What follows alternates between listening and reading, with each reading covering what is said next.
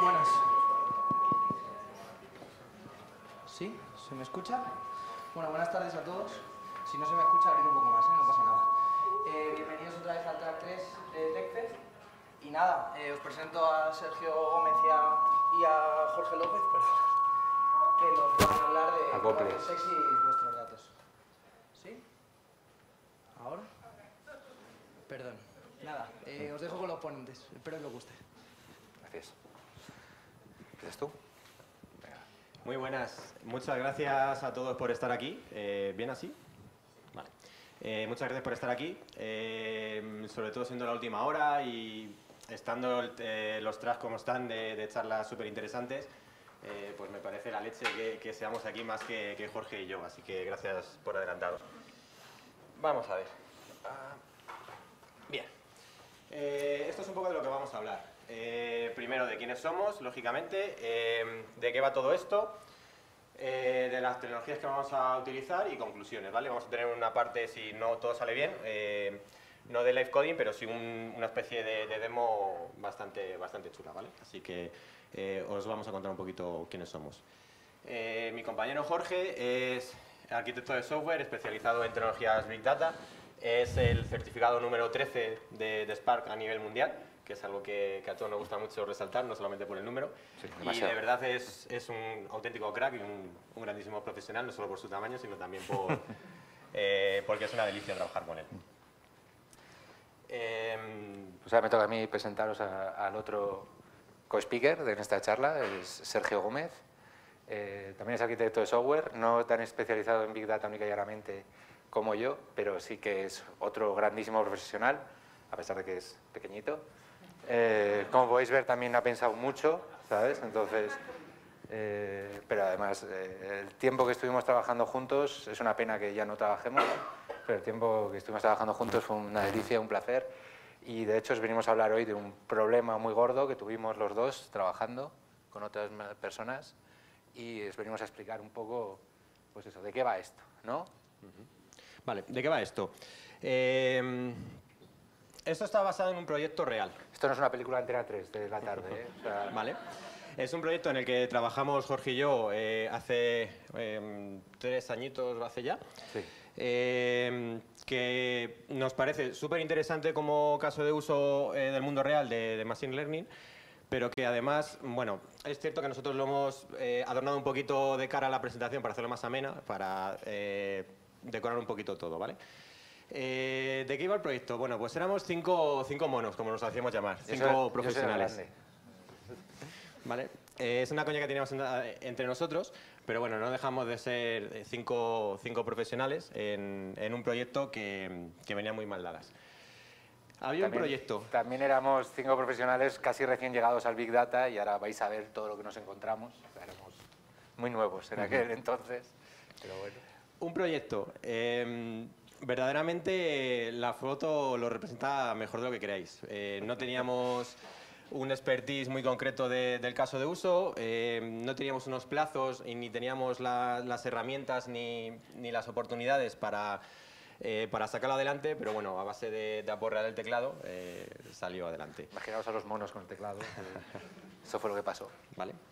Entonces- Eh, bueno, os, os introduzco un poquito primero el proyecto.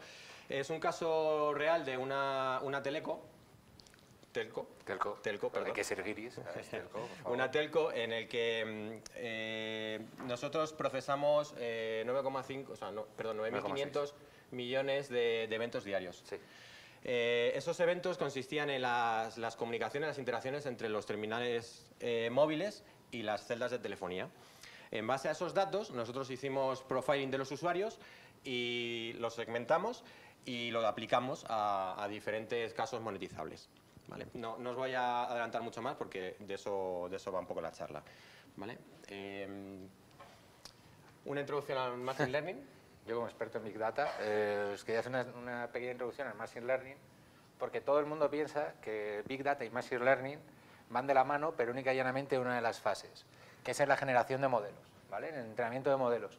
Eh, si algunos habéis enfrentado a un proyecto de Machine Learning con Big Data, porque el Machine Learning es una cosa, el Big Data es otra, hay que dejarlo bien claro, ¿vale? Eh, veréis que, que se divide en, en varias fases. Yo siempre lo divido en estas seis. Luego ya en, cuando bajamos al, notebook ya lo vamos a ver diferenciado dentro del código, ¿vale? Pero en todas y cada una de estas fases, una tecnología Big Data, como por ejemplo Spark, nos ayuda a que este proyecto salga adelante, ¿vale? Eh, no solo en esta, que es, digamos, por eso está la más grande y aquí en medio, ¿no? Entrenar el algoritmo. Eh, para llegar a ese entrenamiento y para sacarle dinero a ese entrenamiento, hacen falta unas cosas, ¿vale? Hace falta unas tecnologías, unos datos, que cuanto más grande mejor, como es mi caso, cuanto más grande mejor, ¿vale? Entonces, eh, las tecnologías Big Data nos van a ayudar a tener un profiling, como ha dicho Sergio, mucho más exhaustivo y más preciso, ¿vale? Siguiente. Una de las cosas curiosas de este caso de uso, vale, eh, lo primero, vamos a adaptar esto que ha dicho Sergio del caso de uso de telefonía a un entorno más eh, informático, más freak, ¿vale? Cambiemos de mundo, eh, nosotros estamos haciendo este proyecto con un país gobernado por un señor oscuro, con lo cual hemos pasado a la Tierra Media, ¿vale? Y en vez de antenas de telefonía vamos a tener una serie de torres de vigías que van a ver a orcos, que son, digamos, las personas que estaban en aquel país. Y vamos a, segmentar esos orcos si están patrullando, si están durmiendo o si están batallando a partir de la información que nos dan unos vigías. Entonces, lo que yo creo que es más interesante este caso de uso es que nosotros segmentamos a las personas, pero no las segmentamos por su comportamiento individual, sino por el comportamiento global. Es decir, si una antena, en este caso una torre de vigía, ha visto muchos orcos en unos determinados momentos, vamos a decir que esa antena es de un sitio donde está en patrulla, ¿vale? donde hay patrulla de orcos. Entonces, como está patrulla de orcos, vamos a saber que mientras los orcos pasan por aquí, están patrullando. Es decir, vamos a clusterizar a las personas como, individuos a partir de información global. ¿Vale? Los monstruos. Eh, estos son los monstruos que vamos a tener. Les hemos dado eh, un nivel de peligrosidad que podéis ver ahí, pues, un poco aleatorio para, para, seguir con el ejemplo. Y tenemos pues un monstruo un poquito más fuerte que los demás. ¿Vale? Estos son, por seguir con el ejemplo, los monstruos que tenemos y, por supuesto, tenemos un señor oscuro. Somos informáticos, había que, ser un poquito frikis. Em, vamos a utilizar un K-Means. Eh, eh, aquí prefiero que lo explique Jorge porque yo me voy a trabar, entonces, por favor. Vale, pues un K-Means es un método de algoritmia matemática que se usa desde hace eones, pero que es uno de los eh, algoritmos más usados en el Big Data porque es el más map reducible. Es muy sencillo calcular el k-means en paralelo, ¿vale? Es como se resumiría todo. Y entonces el, algoritmo que, se utilizó en este proyecto es este porque más en concreto era el único que estaba implementado en Spark cuando nace este proyecto, ¿vale? O sea, además de que es el mejor, no teníamos otro, así que no vamos a quedar con eso, ¿vale? Pero salió todo muy bien, ¿eh? Eso es... Eso es así, ¿vale? Y se basa en la distancia bicuadrática de unos, de unos centroides a unos puntos. Os habéis quedado todos guay con este término, ¿vale? O sea, imaginaos lo complejo que es, pues eso lo hace, se puede hacer con un simple comando y es muy sencillo y nos permite a nosotros ser data scientists por un día. Yo, de hecho, me he disfrazado con la camisa de cuadros y las gafas de pasta eh, de data scientist, ¿vale? Y vamos a ver cómo nos podemos convertir con las tecnologías que nos ofrece el mundo open source. ¿vale? Bueno, eso es la magia de los datos, es que vamos a pasar de lo que teníamos a datos monetizables y, sacar dinero con ellos, que es lo que se quiere a fin de cuentas con todo. En concreto, el, ejemplo que hemos puesto es, en base a una red de vigías, eh, vamos a estar em, monitorizando la Tierra Media y vamos a identificar eh, cuáles son los puntos seguros, entre comillas, o al menos menos peligrosos, en función de, los patrones de comportamiento que identifiquemos de, los monstruos. Y en esos eh, lugares más seguros, pues son los que vamos a presentar a nuestro eh, mago blanco, pues para que abra eh, una, una, posada para, para, sus amigos medianos. Cuando se retire en su mundo, los magos también tienen muy bien, eh, al lío, vamos a, enseñaros una demo que esperemos que, salga bien, porque al final eh, venir aquí a escucharnos solamente a nosotros pues no, no, tiene, no, tiene, eso, no tiene gracia.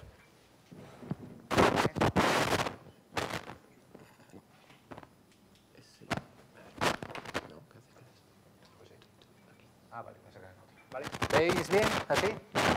Sí, más o menos, sí, no. No sé si se puede hacer zoom. ¿Se puede hacer zoom? Sí, se puede hacer zoom. ¿Así mejor? Vale.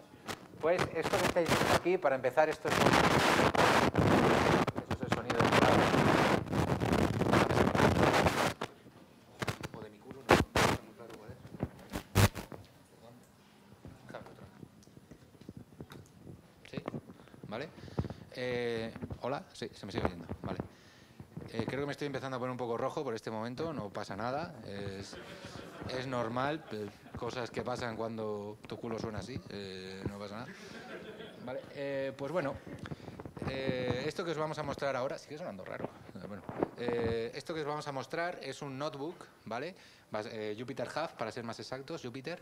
Aquellos que no os conozcáis, es una herramienta muy buena de, de desarrollo de software online, ¿vale? Pues esto es, un, esto es una página web realmente lo que estamos viendo y luego por detrás tiene varias implementaciones que son notebooks, en este caso tenemos una que se llama Apache Toree, que básicamente nos permite tener una cell de Spark, que es esto que tenemos aquí, en escala y podríamos ir cambiándolo con distintos lenguajes.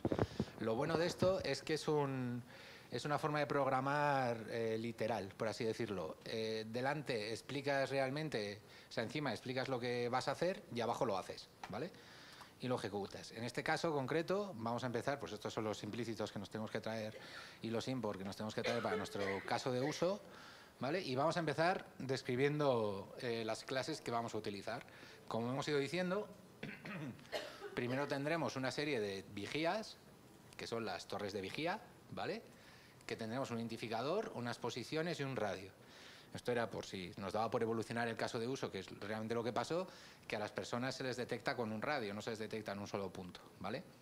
Luego tenemos una clase monstruo, que son evidentemente los monstruos, ¿vale? Con un identificador único, un nombre para que tenga significado y una amenaza. Como hubiera dicho Sergio, nuestro objetivo final es que Gandalf abra su, su, su posada de ensueño, ¿vale? Y para ello le vamos a nosotros como conocedores de datos, porque somos data scientists medievales, ¿vale? Somos magos de los datos. eh, les vamos a dar una lista con las 10 localizaciones, según nuestras torres de vigía, más seguras, pero que pasa mucha gente. Es decir, más seguras, pero que es una zona de patrulla. Ahora veremos lo que es una zona de patrulla. Para eso, los monstruos tienen un radio de amenaza. Si este radio es muy alto, por mucho que vengan los monstruos, a nosotros no los queremos ahí, porque si viene mm, el señor oscuro, pues lo que quieres es salir corriendo. No quieres quedarte allá a que te dé un discurso a ver su tupé. Entonces, pues, ¿vale? Luego tenemos una clase eh, avistamiento, sighting en inglés, que somos muy guiris, ¿vale? Que es básicamente la relación entre los monstruos y las torres. Esto pasa en un periodo de tiempo y está asociado un monstruo, una torre, en un, en un tiempo concreto. Entonces, ¿cuál es la primera, el- la primera fase en un, proyecto Big Data, en un proyecto Big Data con Machine Learning que nos puede ayudar las tecnologías eh, eh, Big Data en entender el problema? ¿vale? En nuestro caso nos están diciendo que tenemos que sacar esta, esta serie de, de patrones y demás y tal, pero no sabemos ni siquiera en qué fechas tenemos los datos. Tenemos miles de datos y tendremos que sacar un rango para el cual sacar un, por ejemplo, el, el ver para qué semana vamos a preguntar por nuestro algoritmo. Pues eso, con estas tecnologías son muy sencillos de sacar. Directamente primero las leemos con este comando que tenemos aquí, que es sencillísimo. Como veis, no hay nada de programación, son todo opciones, ¿vale? Entonces, con esto ya nos empieza a decir, de todo el set de datos que tienes, tienes 6.000. No es tan grande como el caso real, pero bueno, 6.000 es small big data, ¿vale? Entonces, ya con estas 6.000, directamente con instrucciones muy sencillas, que es las que tenemos aquí, podemos sacar el tiempo mínimo y el máximo por el cual vamos a preguntar. Como podéis ver abajo viene el resultado, aunque porque ya lo hemos ejecutado antes para comprobarlo, ¿vale? Y como podéis ver, la, la Tierra Media está muy modernizada, es el 2007, ¿vale? Entonces, mm, nuestros datos de entrenamiento con los que vamos a detectar los distintos patrones, ¿vale? Nos vienen para una semana y decimos, vale, estupendo. Queremos recoger solamente los datos de esa semana y a partir de ahí vamos a empezar a ver el problema. ¿Cuál es el primer problema? Que evidentemente no nos van a venir todos los datos como nosotros queremos, nos van a venir ruido, nos va a venir mucho ruido.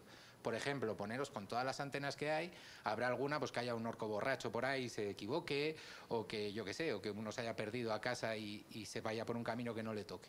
Entonces, Para nuestro caso de uso, como tenemos muchas antenas, tenemos 6.000 antenas, queremos coger única y llanamente aquellos datos que tengan significado, ¿vale? Para, para o sea, que nos aporte valor a nosotros. Para que nos aporte valor, lo que vamos a decir es que en cinco horas distintas de esa semana haya visto, hayan visto a alguien, ¿vale? Para eso aquí tenemos una serie de código un tanto complejo, que lo único que vamos a obtener con todo esto, esto es lo importante, es una hora concreta a la semana con la cual determinamos, a esa hora hemos visto al orco dentro de las 168 horas de la semana, ¿vale? Luego, cuando ya las tengamos todas, que bueno, esto es una ejecución, ¿vale? Esta última instrucción de aquí abajo lo que nos va a decir es, me vas a filtrar solo aquellas que tengan un valor menor que 5. ¿Por qué? Porque estas son las que queremos filtrar, ¿vale? Estas son las que vamos a desechar de nuestro caso de uso, ¿ok? Y una vez que ya tenemos las que nos vamos a filtrar, las juntamos con las totales, ¿vale? Y ya con estas tres simples instrucciones hemos detectado cuántas antenas reales va a tener nuestro caso, perdón, cuántas, bueno, pone antenas, eh, watchtower, cuántas eh, torres de vigía va a tener nuestro caso de uso real, ¿vale? Con esto ya hemos pasado a, a, eliminar todo el ruido que da el Big Data, porque el Big Data da muchísimo ruido en una algoritmia, y ya tenemos datos específicos para nuestro caso de uso. ¿vale? Entonces ahora viene la parte que digamos más asocia a la gente al Big Data y al Machine Learning. Vamos a entrenar un algoritmo eh, Big Data. Para eso, eh, primero tenemos que hacer que los datos eh, tengan la estructura necesaria para ese algoritmo. Una vez más, las tecnologías Big Data nos permiten pasar de miles de millones de datos de una forma sencilla a los datos que queremos tener, que es datos agrupados por antenas y con las 168 horas, ¿vale? Que es esto, este dato que tenemos aquí, puestas en un array. Es muy sencillo, como podéis, ver con este código que tenemos aquí. ¿Vale? Con tres simples instrucciones ya tenemos los datos generados. Con estos datos ya podríamos eh, pasárselo a nuestro algoritmo mágico del cual nosotros no tenemos que saber ni cómo funciona, no tenemos que saber ni si es la distancia bicuadrática, si es el, yo qué sé, el algoritmo de los primos más cercanos o lo que sea, ¿vale? Directamente, como ya nos lo ha dado la propia librería, eh, tenemos que indicarle las eh, especificaciones que nosotros queremos. En nuestro caso solamente vamos a tener tres, tres eh, tipos distintos de, de torres de vigía, las cuales vigilar, ¿vale? Y queremos que esos tipos distintos nos los ponga en esta columna dentro de nuestro, de nuestro grupo de datos, ¿vale? Para poder generar nuestro modelo. A fin de cuentas, el modelo, como podéis ver aquí, nos lo genera con una instrucción muy sencilla, que es un fit, y ya está, ¿vale? Para hacer todo esto, ¿hace falta que sepamos lo que pasa por debajo? No. Es lo bonito de estas tecnologías, ¿vale? Que nos da una, una flexibilidad muy grande sin tener todo el conocimiento requerido para esto. Si tienes algo que añadir, Sergio, córtame. ¿eh? No. A ver, si no, porque vamos a estar aquí dando una charla. Si tuviésemos que tener todo lo que hay por debajo... Vale, vale. Es decir, yo es que me pongo a hablar y me quedo solo. ¿Vale? Entonces, ahora ya tenemos generado nuestro modelo. Todo es maravilloso, todo está muy bien. ¿vale? Pero ¿qué pasa con ese modelo? Que no le podemos sacar valor. ¿Por qué? Porque lo que hagamos hoy lo tenemos que sacar valor mañana. ¿Vale? Estos algoritmos, aunque aquí hayan sido con un control clic y haya sido muy rápido, suelen tardar horas o días en generarse. ¿vale? Entonces, la explotación de esos, de esos datos va a venir a posteriori. Entonces, ¿para qué nos sirve también este tipo de tecnologías? Para que esos, eh, esos algoritmos, esos modelos, sean fácilmente exportables e importables. ¿vale? De hecho, es tan sencillo como, una vez más, llamar a una orden. Con esta orden ya estaríamos guardando nuestro algoritmo en un data store seguro y confiable. ¿vale? Entonces, ya con esto, eh, otro tipo de algoritmia o nuestro propio proceso podría explotarlos. ¿Okay? Y ahora viene la parte más importante de un algoritmo de Machine Learning. ¿vale? El resultado de un, de un proceso matemático, evidentemente, ¿qué nos da? Números. Tú a un cliente, o en este caso a Gandalf, no le puedes decir esta torre es del tipo cero, porque va a decir, ¿eso qué diantres es? ¿verdad? Le tendremos que dar un significado a ese cero. ¿Y cómo vamos a sacar ese... Por favor, ¿sabes? estoy aquí hablando. Eh, ¿Cómo vamos a sacar ese significado al cero? ¿vale? Pues cogiendo otra vez los miles de millones de datos que han generado ese cero, ¿vale? agrupándolos y ver qué tienen en común. ¿ok? En nuestro caso vamos a explotarlo con, el modelo de centroides y una vez más lo que nos permite la librería y el notebook que estamos haciendo es pintar grafiquitos que son muy bonitos, ¿vale? Y nos permite deducir cosas, ¿vale? Nosotros tenemos estos gráficos y decimos, vale, pues hay un punto en el cual se ve claramente que los que se ven orcos o, o Nazguls o lo que sea, los lunes a primera hora, porque esto de aquí abajo son las horas del día, ¿vale? Los lunes a primera hora, a las primeras horas de la mañana, luego se ve que se van a comer o algo, los, los monstruos también comen, ¿sabes?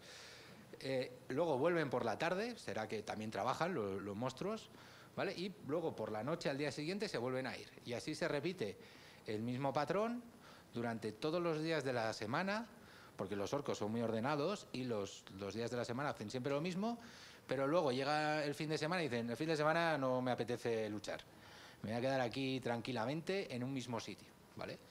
Pues entonces ya tendríamos detectado un patrón. No sabemos qué significa porque no somos expertos en orcos, pero tenemos este patrón, ¿vale? Luego vemos que se distingue otro patrón distinto también, que este se ve que a, que a mitad de la mañana pues hacen algo en un sitio, no sé, no sabemos todavía el qué. Luego se vuelven a ir y vuelven a ese mismo sitio a hacer más cosas. Ese mismo patrón se sigue repitiendo durante toda la semana, pero los fines de semana se ve que ese sitio no les gusta a los orcos, habrá, yo qué sé, gen antiorcos por allá, vendrán los, los hobbits por allá y no, le- no les gustan, y no, y, no, y no van para, o sea, no hay ningún tipo de señal. Estos últimos son los días del fin de semana que vemos que no pasa absolutamente nada. ¿Vale? Y ya nos queda un tercero que, en, el que, en el cual básicamente vemos que se detecta la presencia de estos orcos en los mediodías. O sea, más prácticamente casi todos los mediodías y hasta mitad de tarde, pues se ve, se ve que hay orcos, luego se vuelven a ir, se vuelven a ir, se vuelven a ir, se vuelven a ir, se vuelven a ir. Pues no sé, pues yo esto veo otro patrón aquí. Y como se pueden ver, son muy diferenciados porque hemos tenido mucha información para obtener unos patrones muy diferenciados. ¿Qué hacemos con estos patrones? Hablar con las personas que saben. ¿vale? En este caso iríamos a, yo qué sé, a vigías o a gente de, la guerra de la Tierra Media y ellos nos dirían, vale, pues para mí uno de los patrones es, si a una torre vigía se considera el tipo patrol, es decir, patrulla, uy, perdón, se ve la magia por debajo, del tipo patrulla cuando se detectan monstruos solo por el mediodía y por la tarde de lunes a viernes. Entonces decimos, ah, vale, nuestro tipo cero de datos, que era este, ¿vale? No, no, perdona, nuestro tipo 1 de datos, que es este, leñe, pues se parece mucho a lo que me has dicho. No sé si es exactamente lo que tú me has dicho, porque los datos no tienen que ser desde las 7 de la mañana a las 3 de la tarde, sino al mediodía, ¿vale? Pero yo puedo asociar este patrón que me has dicho tú, o sea, lo que me has dicho tú, a este patrón. Digo, vale, pues yo ya sé que el tipo 1 es patrulla. Luego, nos dicen que cuando se considera nido, nest, cuando se detecta actividad los fines de semana y a primera hora de la mañana y a última hora. Dice, ah, vale, o sea, quiere decir que esto que hemos visto antes es que los orcos estaban durmiendo, se han levantado, se han ido a hacer las cosas de orcos que hagan todos los días, afilarse los colmillos o algo, ¿vale? Y luego han vuelto a su, a su guarida a volver a dormir otra vez, porque son orcos dormilones. Y los fines de semana, pues se ve que les gusta estar en, en pareja haciendo nesting, viendo Netflix en la cueva y se quedan todo, todo el fin de semana ya. Pues bien, pues ya tenemos otro patrón. El tipo cero es un patrón. Y el último que nos queda, nos dicen, eh, por último, la localización, la localización se, eh, la localización se considera batalla si entre, hay actividad entre los días de semana y las horas centrales del día y los fines de semana nada. Entonces está claro que los orcos respetan los fines de semana y no se pelean. Eso es algo que es sagrado. Con lo cual, este último patrón que hemos visto aquí se puede asociar perfectamente a lo que hemos visto. ¿Vale? Con lo cual, lo único que nos falta es eh, asociar cada uno de los unos y los ceros y los doses a un tipo de datos. Con lo cual, con esto, gracias a estas tecnologías, ya les estamos dando un significado. Porque darle a alguien un 0 y un 1 no le vale para absolutamente nada. Lo que quieren es decir, esta torre es vigía, esta torre es patrulla, esta torre es X, ¿vale? Entonces, como ya lo tenemos todo, lo último que nos falta, el último paso es explotar la algoritmia. Para ello, ¿qué tenemos que hacer? Traer nuevos datos de otras fuentes con mucha más información. En nuestro caso será de otras semanas del año, ¿vale? los agrupamos, lo mismo con una simple orden, ya lo hemos leído de un repositorio y no tenemos más complejidad. Luego volvimos a aplicar exactamente la misma lógica que hemos, que hemos hecho para hacer el, modelo, es un corta y pega, ¿vale? Lo ejecutamos. Eh, vale, aquí obtenemos, o sea, hacemos exactamente lo mismo que antes, tenemos un dataset exactamente igual y con el modelo que hemos cargado ya de antes, que es este de aquí, esta variable, lo que hacemos es transformar los nuevos datos que hemos traído para traernos, para asociarles unos valores eh, en correspondencia a nuestro algoritmo.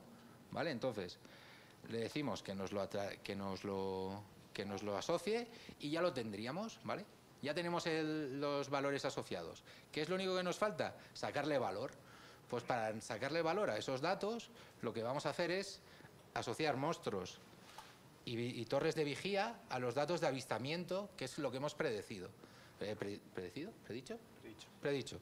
¿Vale? Mm, hablo mejor en inglés. ¿Vale? Entonces, con esta serie de, órdenes estamos juntando tipos de datos, lo, predicho contra lo que queremos sacar valor y ya con únicamente una orden de hacer un, un ordenamiento y quedarnos con 10 elementos, nos vamos a quedar con las 10 torres que menos peligrosidad tienen. Con lo cual, con esto le damos aquí y ya directamente a Gandalf le podemos decir, Gandalf, puedes abrir, yo estos nombres no los voy a decir, si quieres decirlos tú, eh, tiras. Puedes abrir tu, tu, nueva posada en Edelhall o en Ost it Edil porque son muy pronunciables y además tienen un rango de peligrosidad muy bajo para todos los orcos que han pasado por ahí. Porque yo he detectado que es un sitio donde hay mucha afluencia de orcos y es un sitio de patrulla donde tú puedes abrir ahí tu posada sin riesgo porque pasan orcos poco peligrosos. Y con todo esto, chicos, ya tendríamos, y chicas, perdón, ya tendríamos un caso de uso de principio a fin con tecnologías eh, Big Data, algoritmia de Machine Learning y unos gráficos muy bonitos que hemos sacado con una herramienta todo open source, por cierto. Uy, de donde no debía. ¿Vale? Y sin más, lo único que ya hemos terminado, ¿no? Ah, bueno, las tecnologías, lo que hemos ido utilizando Docker, que espero que todos los conozcáis y si no, conocerlo, ¿vale? un gestor de contenedores muy bueno, que tú eso igual lo explicas mejor, que eres el arquitecto normal. el arquitecto normal. Docker es un, es un software para utilizar contenedores, para em, virtualizar servicios. Apache Spark, esto es Big Data, esto lo explico yo. Es un framework de procesamiento distribuido que nos permite hacer distintos tipos de algoritmias, como por ejemplo el, el MLLIF, el perdón, Machine Learning, Streaming, eh, se puede leer datos con SQL, etc, etc. Jupyter, que es lo que hemos enseñado como los notebooks, ¿vale? Es una, herramienta para codificar de una manera, no sé si se llama literal, es decir, escribes lo que vas a hacer y luego lo haces, ¿vale? El notebook per se y Apache Tore, que es juntar los notebooks con Spark. Y todo esto es la tecnología que hemos usado, todo es open source, todo es descargable de las distintas páginas web de, la gente. Bueno, Docker no, no sé si se puede descargar, se tiene que instalar. Todo lo demás lo podéis utilizar, ¿vale? Y con esto os queremos... A ver, bueno, primero, Bueno, nos hemos saltado una slide. ¿Ah, eh, bueno, unas conclusiones. Eh, un poco el resumen. Eh, nosotros lo... un resumen de, de, lo que hemos visto. nosotros hemos trabajado con un caso de uso en el que teníamos unas torres de vigías Hemos eh, monitorizado qué es lo que estaban haciendo eh, los monstruos para intentar, eh, primero, mm, identificar una serie de patrones con una muestra de, datos. Esos patrones les hemos intentado dar un sentido.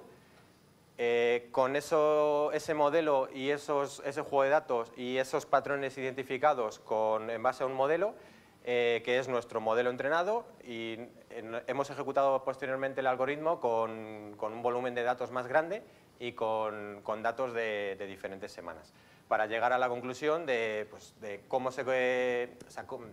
hemos hecho un profiling de esos usuarios para ver cómo se movían eh, durante las horas de la semana, intentar identificar eh, comportamientos y qué zonas, por ejemplo, en este caso, eran seguras para, pues, para abrir una posada.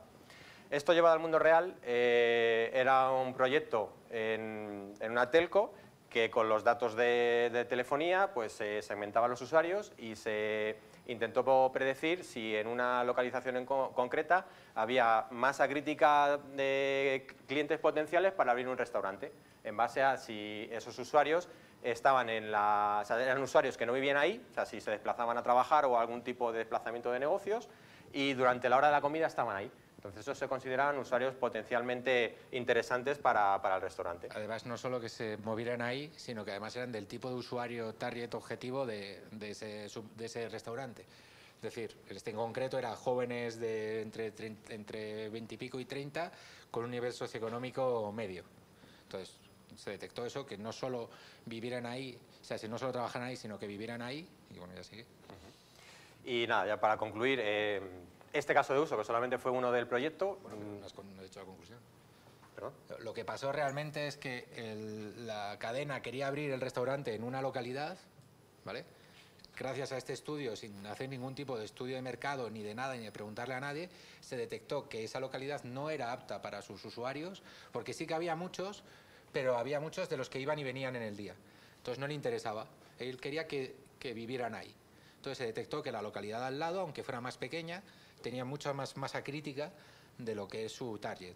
Entonces, en vez de abrir en un sitio en otro, creo que hicieron un 10% más de ventas, todo el mundo quedó contento, a todo el mundo le subieron el sueldo, menos a nosotros, que no nos despidieron, que ya es un paso para lo, para lo que somos. ¿vale? Pero para que veáis que, que los datos eh, son importantes, ya sean del tipo que sean, porque se le puede sacar valor para todo. Lo único que hay que hacer es convertirlos en datos sexys, ¿vale? Y da igual que sea una telco, da igual que sea una, una, empresa de, electricidad, de cualquier cosa, que si le echáis un poco de imaginación y, conocéis un poco el mercado, podéis sacar un, un, nuevo negocio, que es como lo que pasó con esta telco en concreto, que sacó un nuevo mercado sin hacer absolutamente nada. ¿Vale? O sea, solamente con los datos que genera su público. ¿vale? lo que queremos que veáis en general es que los datos, sean lo que sean, pueden llegar a ser guays y guapos. Ahora un poquito de spam. Em, yo trabajo en Things 2, eh, buscamos talento, entonces eh, cualquiera que, cualquier persona que busque un cambio, eh, incluyendo listos gafapastas, pues escribidnos y, y, estaremos encantados de conoceros. muchas gracias, gracias por estar aquí a estas horas y ¿alguien tiene alguna pregunta? Tenemos micro no seáis vergonzosos. Venga. A ver, para empezar, yo no, no tengo mucha idea de, de esto, ¿vale? Soy de otro mundo. Eh, sí, de Marte o por ahí. Que, ¿Cómo haces para, para que tu set de entrenamiento, cómo eres capaz de medir que tu set de entrenamiento es suficientemente grande o no es demasiado grande para no adecuar tu, predicción a tu, a tu entrenamiento? Esto es una técnica súper novedosa, se llama ensayo de error. O sea, es, es, decir, nosotros hasta llegar a ese, hemos, hemos sacado solo tres, ¿vale? Para que veáis nuestro caso de uso, empezamos con cuatro tipos distintos de, de clusterización, vimos que eran dos de un tipo y otros dos exactamente iguales a los del anterior, solo que tenían mucha menos, mucha menos carga. Entonces lo volvimos a probar con dos, vimos que funcionaba. El, jefe de allá nos dijo, pues ya que vas con dos, mira a ver si pones tres. Probamos con tres, mm, vimos que no había nada. Volvimos a los dos y ya esos dos se quedaron. ¿vale? Pero eso lo hicimos en, muy poco tiempo, con muchos datos, y la cosa es que lo dejamos programado para que el propio algoritmo fuera capaz de, pasándole una serie de parámetros, darte unas métricas para que un experto dijera, vale, pues estos me cuadran o estos no me cuadran lo que, hemos, lo que hemos visto antes, de tres tipos que nos habían dicho los expertos de patrulla, guarida y tal. Eso tiene que haber antes un estudio de alguien que sepa y que nos diga, estos son los patrones que tiene, más o menos mi empresa. Luego te la puedes jugar y encuentras cosas curiosas como la que encontramos nosotros, que el tercero, cuando metimos más datos, era tipo ocio. O sea, estaba casa, trabajo y ocio, que era, pues eso, horas locas en las cuales salían esta gente. Y ya está. ¿Alguna pregunta más? Pues sí. Eh, buenas. Eh, yo quería preguntar que hay un montón de algoritmos de Machine Learning cada vez más. y estoy ahora empezando un poco con lo que es el tema de calcular en paralelo los algoritmos paralelizados. ¿Qué hace que un algoritmo sea, se adapte a la filosofía MapReduce y qué no? Eh, es, simple. O sea, si tu algoritmo, como en el caso del Camins, que el K significa el número de, centroides que puedes calcular, se puede paralelizar, por ejemplo, Camins, K, quiere decir, puedo hacer uno por un lado, otro por otro, otro por otro y otro por otro.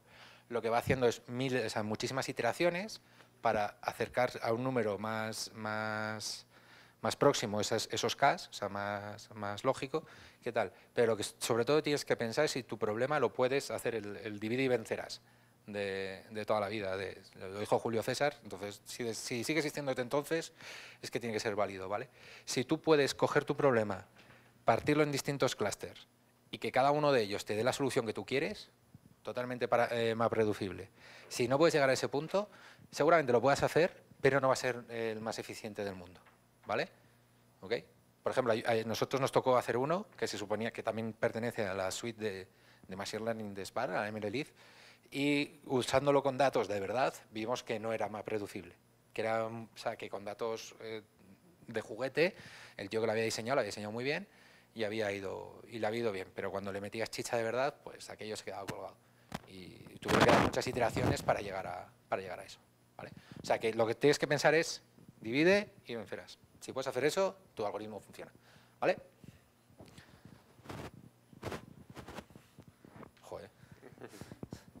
Eh, darnos feedback si queréis, por favor. O si no queréis también, darnos feedback, por favor. Hola, muchas gracias. Eh, una pregunta por curiosidad. ¿Qué volumen de datos teníais más o menos para usasteis para entrenar y, cuántos, cuál fue eso, el tiempo de procesamiento para entrenar y luego para evaluar los casos? ¿Te acuerdas tú? bueno, para entrenar cogimos solamente un mes y cogimos, si no recuerdo mal, eh, de esos 9.500 millones, eh, cogíamos 500 500.000. Em, creo que estuvimos haciendo distintas pruebas. El, volumen en, gigas, para hablar en, términos que tal, porque al final unas semanas tenían más eventos, otras otros porque eliminamos ruido, era porque creo que cada una de las semanas eran 4 gigas de datos, pero hay que contar que eran eh, datos guardados en Parquet que la primera aproximación de CSV a Parquet se reducían en un 25%. Entonces, ya es 4, pues, no sé, muchos. Pero, o sea, 4 gigas por semana, unos 16 gigas de datos, y en, hacer el, el, Camins, al final, cuando ya lo tuneamos todo bien, tardó 40 eh, minutos en hacerlo en evaluarlos más, porque requería que, contactáramos con otra persona y esa persona estaba muy ocupada. Entonces le, costaba tiempo, pero lo que es el tiempo fueron ya al final, cuando nos habíamos pasado días y noches llorando, salieron 40 minutos. Sí, eh, utilizamos, eh, si no recuerdo mal, cuatro semanas. Em, los problemas que teníamos de rendimiento al ejecutar, al entrenar, perdón, el algoritmo, era porque partíamos demasiado la información, no, nos dimos cuenta eh, durante el proceso que teníamos eh, todos los datos eh, en esos ficheros en parque guardados en porciones muy pequeñas. Entonces, como lo que nosotros queríamos era un gran volumen para nuestro, nuestros algoritmos y nuestro caso de uso, en cuanto empezamos a compactarlos y a, ejecutarlo con bloques más grandes, aumentamos varias, varias veces el rendimiento y básicamente era, eh, lo he dicho mal, todo el juego de datos, pero de un mes, y luego lo, lo estuvimos ejecutando para, para, más meses. La primera, la primera ejecución fueron 16 horas, lo bajamos hasta 40 minutos. Bien. Bueno, me vais a disculpar, pero es que no me he enterado muy bien qué, qué representa cada, cada muestra que, sobre la que hacéis clustering. O sea, hacéis agrupamiento, pero ¿qué representa cada, cada una de las muestras? ¿Es una persona, un comportamiento, un Es un comportamiento. Pero a es partir un claro, es un comportamiento de personas que están en esa antena, en esa torre de vigía. Es decir, hemos detectado que hay en esa torre de vigía concreto, puede, para una misma torre de vigía puede tener distintos comportamientos, ¿vale? Sí, sí, sí, pero quiero decir, con los datos agregados de todos los orcos que pasaban por esa antena, se ha visto que esa antena tiene un comportamiento de patrulla.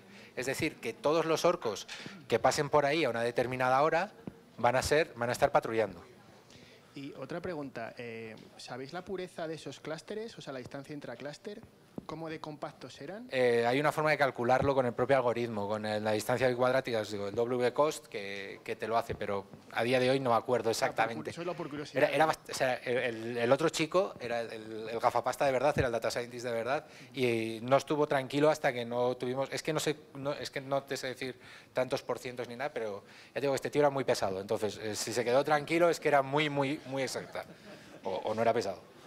Sí, lo decimos desde el cariño, pero Sí, sí. sí, era un tío muy válido, muy, muy sabio, pero muy, muy exhaustivo con los datos. Entonces, no, no te puedo llegar a decir exacto el número, pero era, era lo suficiente accurate para, para él. ¿Vale? Vamos, que estamos en racha. Vamos. Em, sí, yo tenía una duda de que no sé si en, si en cualquier problema puedes encontrar un patrón en, el que, por ejemplo, siempre van personas o es posible que sea aleatorio. ¿Tuyo? A ver, al final depende un poco de los datos y de qué estás buscando. Eh, como ha comentado antes Jorge, nos costó bastante encontrar los patrones. Eh, el responsable del proyecto ya sabía que estaban ahí y sabían que tenían que salir más otros patrones que buscamos luego después. O sea, sabía que esa información estaba ahí, pero nos costó encontrarla. Entonces, por eso va un poco lo de primero entrena con un juego de datos en el que más o menos sepas lo que esperas, que puedas fallar rápido, ese tipo de cosas.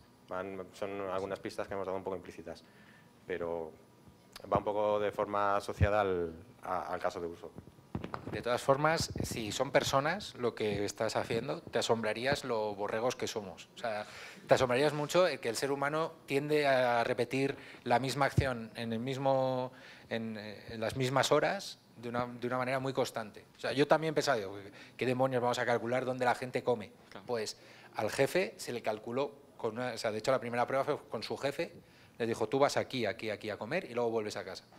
Eh, ¿Cómo, ¿Cómo lo sabes? Yo, Mira, aquí lo tienes, los datos, tal, y lo, y lo clavaron. O sea, no fue... Nosotros pensamos que, se iban, que están tirando un triple, pero no, no, lo, lo- lo clavaron. Sí. O sea que puede parecer curioso, pero sí que el ser humano es muy tiende a la repetición. ¿Hay uno más al fondo? Espera, espera, espera. no, no se graba. Que he llegado un poco tarde, igual lo habéis contado ya, pero ¿qué pinta Docker en un proyecto, en un proyecto así de, de Big Data con datos tan grandes? Y si luego el modelo entrenado valdría para analizar datos en tiempo real, en, en- en cuestión de segundos y no horas. Sí, sí. De hecho, uno de los casos de uso más típicos con, con Spark en concreto es tú haces la- el entrenamiento del modelo por las noches con cantidades eh, gargantuescas de datos, que estas que, no, que dices no lo, puedo, no he podido procesar hasta ahora. Luego ese modelo lo almacenas en un repositorio confiable, normalmente HDFS, ¿vale? Y luego con un proceso de streaming vas cogiendo los distintos datos que te vienen agregados y lo predices. ¿Vale? Entonces, ¿con cuánta asiduidad puedes predecir tus datos? Pues depende de tu algoritmo. Quiero decir, por ejemplo, en nuestro caso, como eran los datos de una semana, hasta que no tienes los datos de una semana entero, no puedes predecir el comportamiento del usuario. Pero yo tuve otro, otro proyecto con Machine Learning en el cual intentamos predecir los gustos de una persona ¿vale? por las noticias que había visitado anteriormente. Entonces, cada vez que venía un nuevo usuario, aunque no se hubiese logado en la página y aunque no tuviéramos su información, gracias a las, a las distintas noticias que había ido visitando, se le podía clusterizar con otros usuarios que, sabían, que tenían gustos similares. Con lo cual, se puede utilizar en, en- en stre- en streaming lo que sacas en batch. Te hablo de Spark, pero sé que con Flink también, y son las dos librerías de Machine Learning que conozco, de Big Data. No sé más.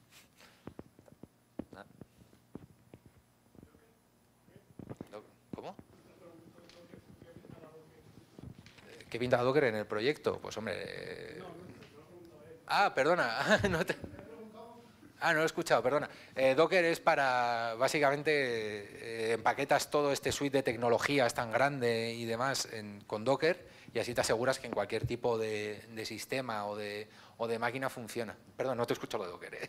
no,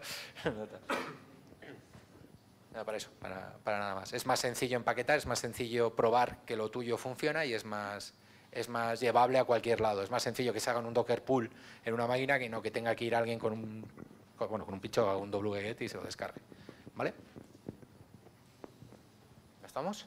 ¿Habéis dado feedback? Feedback. feedback. Pues ya estamos. Muchas gracias. Muchas gracias.